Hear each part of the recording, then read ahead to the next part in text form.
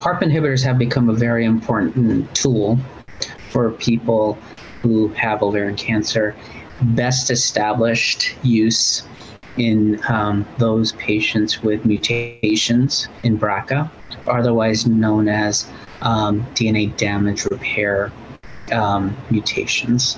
So we're learning that other mutations may predict sensitivity to PARP inhibitors, specifically gene mutations involving RAD51C or RAD51D. We're also now learning that even for people who experienced progression on a maintenance PARP inhibitor, it still may play a role in the second line or later line setting, even after that resistance or that progression occurred.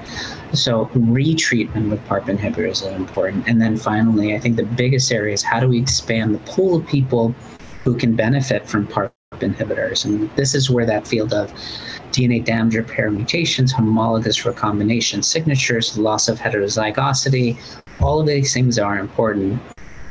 But in the uh, therapeutic space, it's where combinations are being explored. So PARP inhibitors plus immunotherapy, PARP inhibitors plus anti-angiogenesis agents, you know, all of these really point a direction towards broadening the eligibility of who could potentially benefit.